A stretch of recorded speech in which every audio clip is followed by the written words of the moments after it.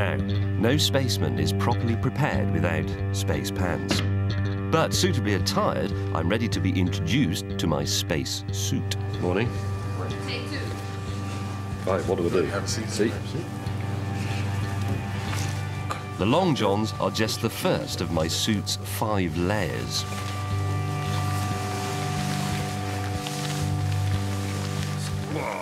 Breathable Gore-Tex, airtight rubber, a restraining wire mesh and the yellow protective layer create an airtight cocoon around me. Right, I've got a bit of a hair issue here. This is a quarter of a million dollars worth of space technology. One, two, three. This suit is going to be my life support system. I have to learn to avoid suffocating once I'm sealed inside. It's all right, actually. it's better than I expected. Cabby's here. He's promised to hold my hand for the next bit, because if I can't operate all these regulators, I'm in trouble. Whenever we're ready, we're gonna go ahead and connect your oxygen. They keep the suit pressurized, control the temperature inside, and deliver oxygen into my helmet.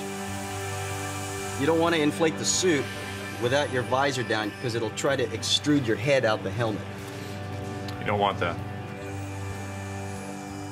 I guess I look the part now. But the big test is whether the suit, and I, can hold up under extreme pressure. Here goes.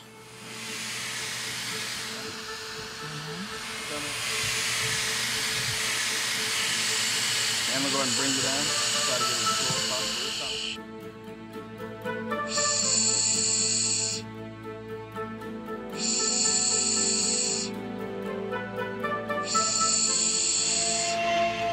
Oh, Can you open this up a minute?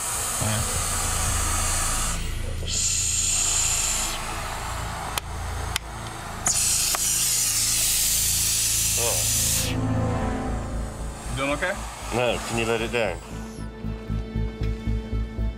Oh, shit. What's wrong? Ears, sinus? No, it's really freaking me out. Sorry. I'm doing my best, but it's awful. Oh.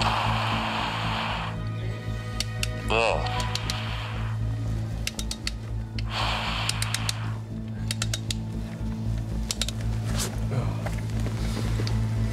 Sorry, please don't film it. First time I ever put our just our low flight helmet on the gray helmet with the mask, I was very claustrophobic and ended up uh, actually vomiting after that episode. It's, it's pretty common, it's pretty normal, and you just do a couple things to try to overcome that. Again, mind over matter.